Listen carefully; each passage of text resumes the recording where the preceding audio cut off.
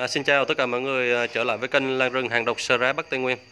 À, thì à, mấy hôm nay mình à, khá là bận việc cho nên là giao phó toàn bộ cái công việc là à, à, lan cho đại chủ kênh Lan rừng à, đồng bào Tây Nguyên. Mọi người lên YouTube search cái kênh Lan rừng đồng bào Tây Nguyên thì các bạn sẽ thấy. À, tối nay mình đăng à, ba ba khúc, ba khúc này là ba khúc cây nguyên bản hết nha các bạn.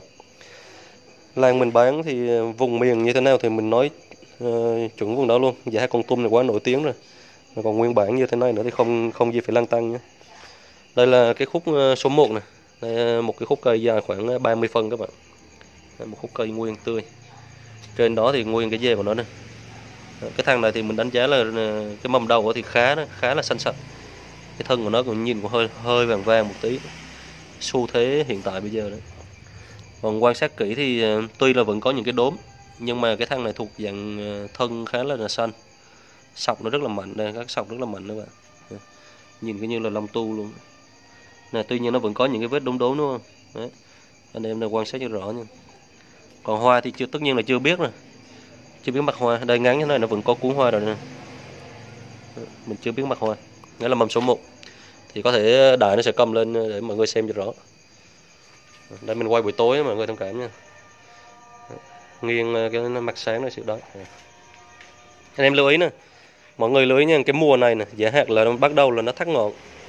Thắt ngọn tức là nó không đi ngọn nữa, mà nó sẽ nó bo tròn cái đầu ngọn lại như thế này các bạn. Đó. cho nên là những cái lá đầu này khi mà như thế này thì nó hay dễ bị gập. Cho nên một số anh em mà mua hàng vào thời điểm này thì nó có bị gập, bị gãy cái lá này thì mọi người hiểu cho. Tức là khi cái cây ờ, phi điệp đến cái mùa mà nó thắt ngọn ấy thì cái eo lá cho ngọn này nó rất là yếu rất là dễ rụng thậm chí là nó chuẩn bị nó rụng luôn. Đấy. Cho nên là mọi người đừng có nghĩ là cái lá cho này là nó bị gập bị dập bị gãy gãy ngọn nha. Mà ngọn nó không đi nữa nó đứng lại thì gọi là thắt ngọn. Đấy. không phải riêng cái mầm này mà các cái mầm khác cũng vậy. Bắt đầu từ cái thời điểm này nè như này cũng là bắt đầu là thắt ngọn. Này thắt ngọn ngay đây thì nó sẽ không đi ngọn nữa. Những cái mầm đi ngọn là những cái mầm cái lá nó đang còn uh, nó đang còn suông các bạn mình nói đơn giản này này như thế này là gọi là chưa thắt ngọn đúng không? Đấy. Còn mà đầu đã bo lại như vậy rồi thì gọi là thắt ngọn này đấy thắt ngọn rồi đây. Đấy mọi người phân tích nha. Đây là mầm số 1 rồi mình chuyển qua mầm số 2 mầm số 2 đây các bạn. Mầm số 2 có những cái cái cái vệt ờ, tím rất là đậm. Đấy, cũng là khúc cây nguyên bản luôn. Dài này dài khoảng ờ, cũng 35 phân. Đây một khúc cây nguyên bản này. Sọc cũng khá là mạnh. Lá còn rất là mướt và đây cây nó mọc rồi,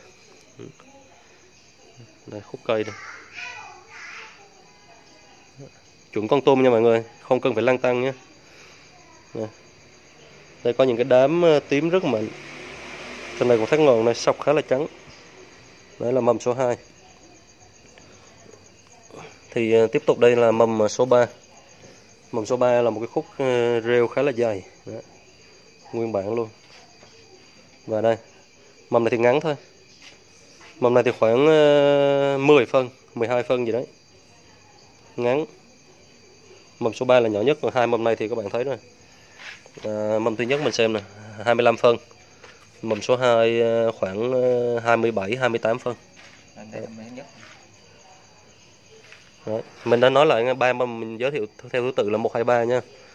Mầm số 1 là đầu tiên là mầm xanh sạch mầm thứ hai là mầm có một cái đốm tím này có những cái đám tím đậm này. Một số 3 là mặt sau thì tím, nhỏ. Đó, mọi người ngắm nghĩa nha.